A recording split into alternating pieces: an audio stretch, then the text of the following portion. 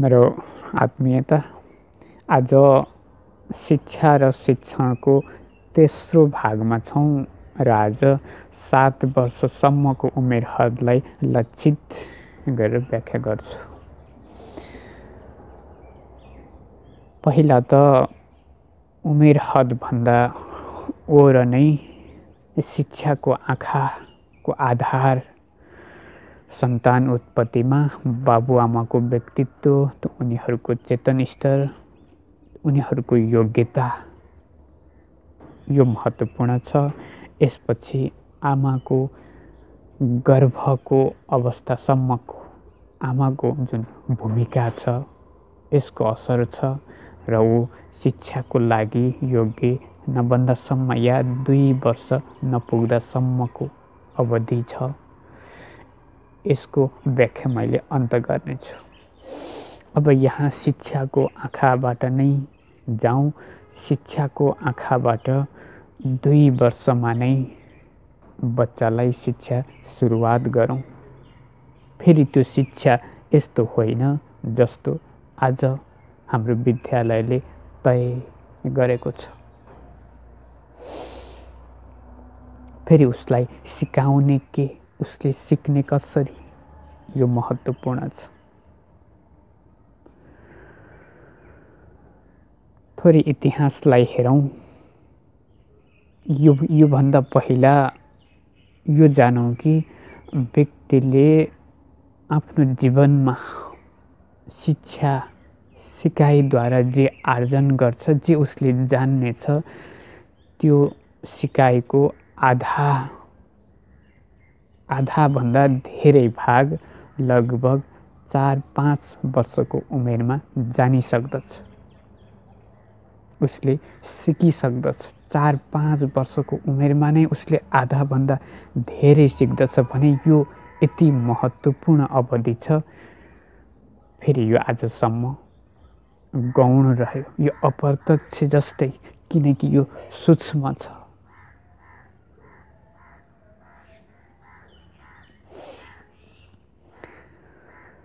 हामीले बच्चालाई यति सजिलै जान्दैनौँ।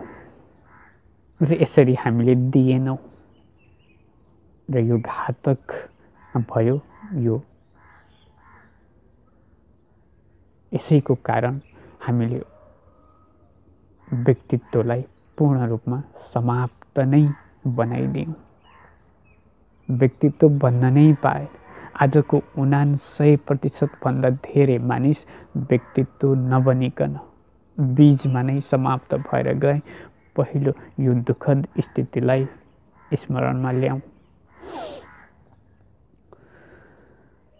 र इतिहास हाम्रो अगाडि छ। इतिहासमा जुन विधिद्वारा हामीले शिक्षा दियौँ त्यो गलत साबित भयो। त्यो आज्ञाकारी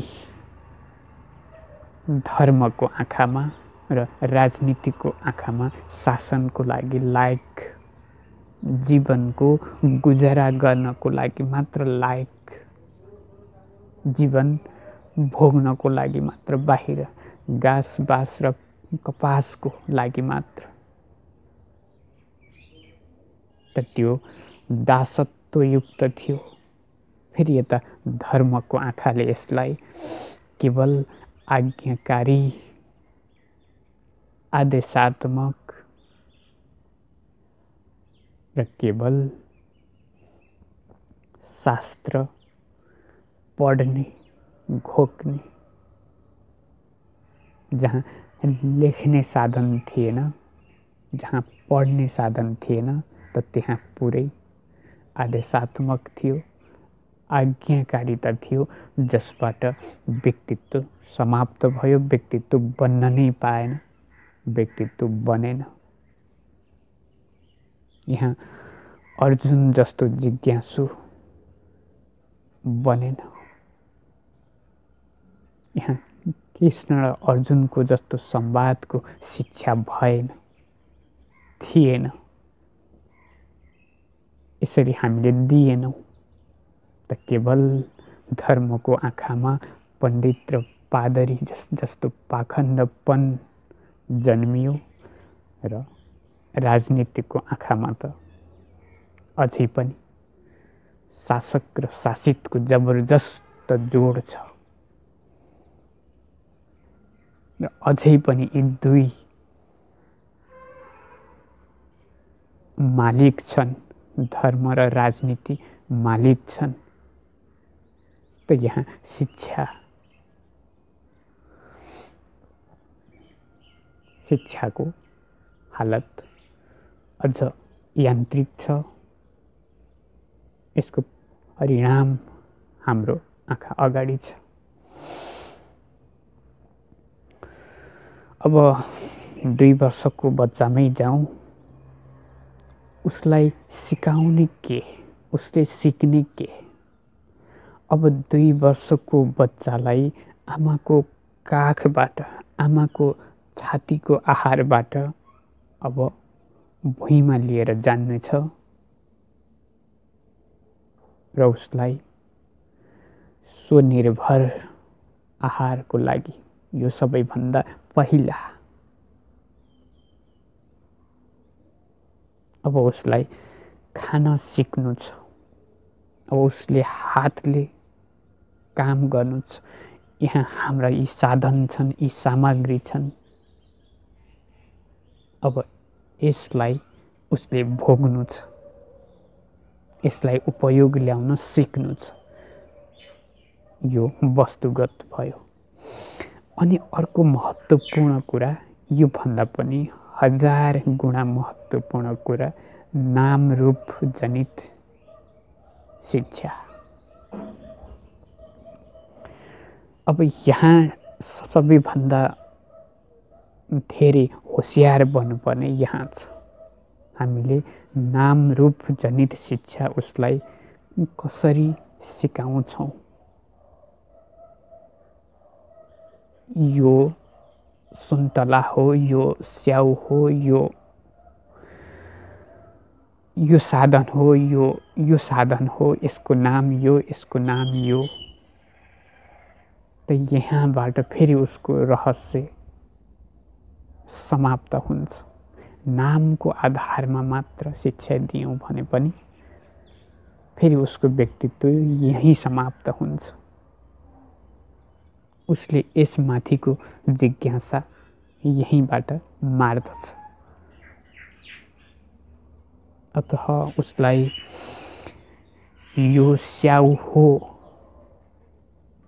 भन्ने होइन कि उसलाई यो यसको नाम यसलाई जान्नको लागि यसलाई स्याउको नाम दिइएको हो।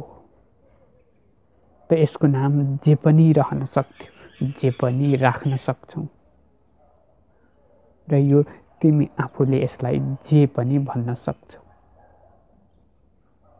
फेरि यो आफैमा स्वार्थपूर्ण होइन यो मानव मानव बिचको सम्पर्क। साधन हो अत यसको नाम यो राखिएको हो। यस्तो खुकुलो खालको नामको अवगत होस्। यो यो नै हो भन्ने होइन। नामद्वारा फेरि उसको रहस्य समाप्त हुनु भएन अहिले सानो बच्चालाई त केही भएन। दुई वर्षको बच्चालाई त उसले नामबाट भन्दा पनि रूपबाट जान्नुपर्नेछ। उसलाई नामद्वारा भन्दा रूपद्वारा सिकाउनु उपयुक्त हुन्छ। नामद्वारा सात वर्षको बच्चालाई उपयुक्त हुन्छ। फेरि दुई वर्षको बच्चालाई नाम रूप नै दिने हो भने पनि अलि हलुका हलुका खालको दिउँ। यो यो नै हो। यो यसो गर यसो नगर यो आदेशात्मक जस्तै नाम रूपमा पनि हामीले यस्तै पद्धति ल्यायौँ भने ठिक हुन्न। अत उसलाई पहिला नामद्वारा भन्दा रूपद्वारा सिक्न सकोस्। यो मल्टेश्वरी शिक्षा जस्तो विधिमा लागू गर्नु उपयुक्त हुन्छ। सुरुमा रूपद्वारा जानोस् र त्यसलाई बाध्यात्मक रूपले नाम राखियोस् नाम दिइयोस् त्यो गौण होस्।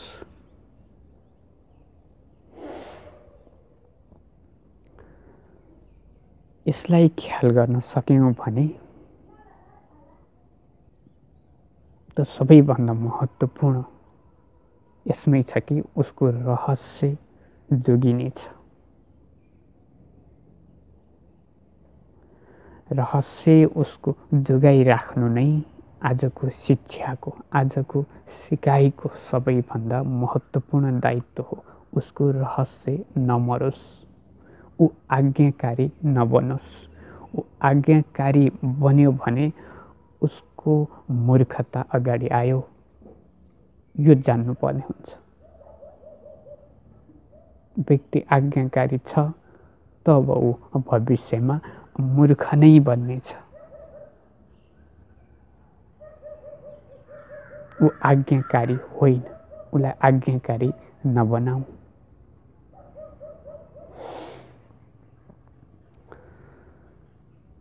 अब व्यक्तिको नैसर्गिकतालाई ध्यान दिनुपर्नेछ बच्चाको नैसर्गिक जान्ने क्षमता ऊ जसरी जान्न चाहन्छ यसरी नै। यसलाई नियन्त्रण यसलाई कन्डिसनमा थोरै हलुका मात्र। यसबाट उसमा डर भय सङ्कोच आदि। पैदा नहोस् सबैभन्दा महत्त्वपूर्ण कुरा यो हो। यदि उसमा डर पैदा भयो भने यदि उसमा सङ्कोच थोरै भए पनि आयो भने यदि हामीबाट उसले झुठो गर्न छुपाउन या झुठो बोल्न थोरै पनि झुटको गुन्जाइस पायो भने अब यो डर यो भय यो सङ्कोच यो झुट त्यही जीवनको सारा आधार नै नष्ट गर्नेछ। यसले काटेर फालिदिनेछ व्यक्तित्वको आधार नै काटिदिनेछ।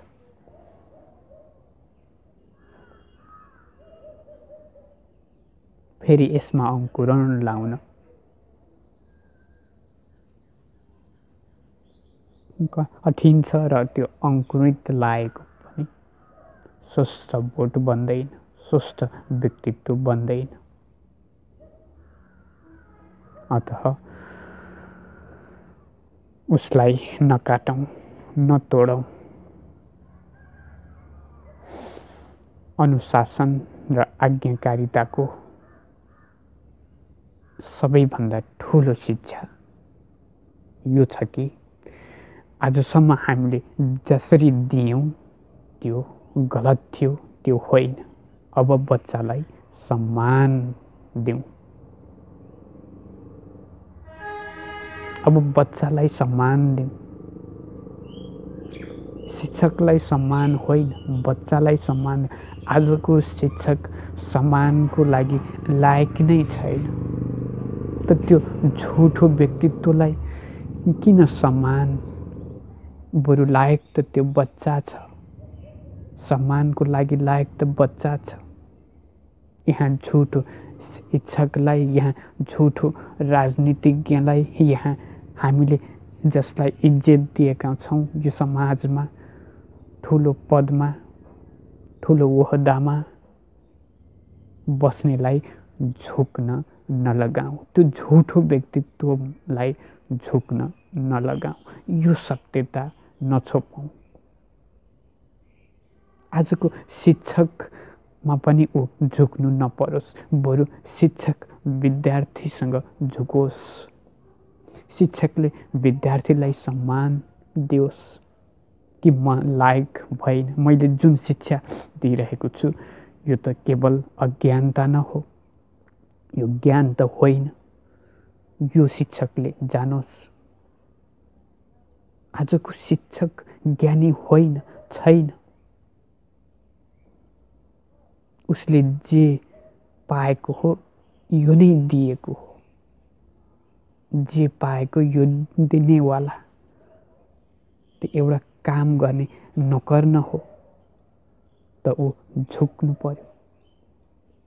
उसले यस्तो काम यो सेवाको काम त ऊ झुकेर गरेकै सुहाउँछ मालिक त बच्चा हो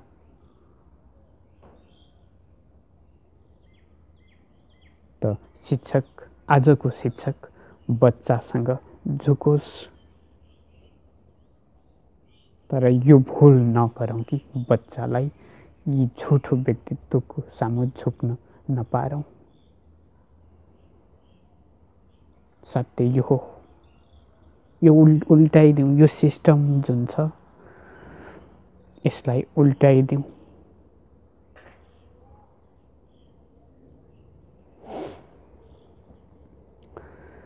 हामीले बच्चालाई सत्य जस्ताको तस्तै दिउँ।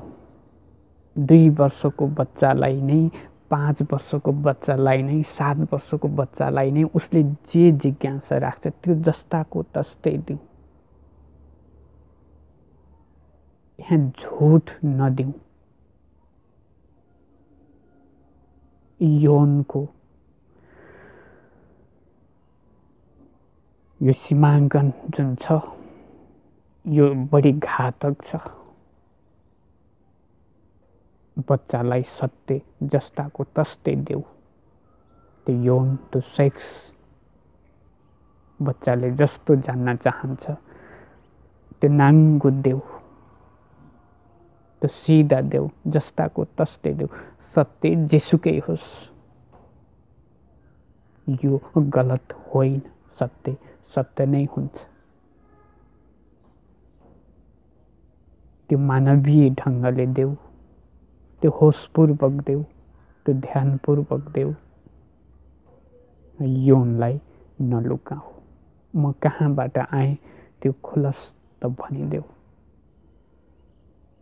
र कुन प्रक्रियाले आएँ त्यो पनि बताइदेऊ। त सबैभन्दा महत्त्वपूर्ण कुरा बच्चाको लागि हामीले गर्ने व्यवहार हाम्रो व्यक्तित्व यो आधा शिक्षा र सामग्रीसँग नामरूप सँगसँग भाषाको उच्चारण शब्द अक्षरको आदि यो सबैभन्दा न्यूनतम यो नैसर्गिक रूपमा स्वाभाविक रूपमा उसको व्यक्तित्व नष्ट नहुने गरी उसलाई सम्मानपूर्वक दिन सक्यौँ भने त आउने। अगाडिको शिक्षा सहज हुन्छ। आजको लागि यति नै।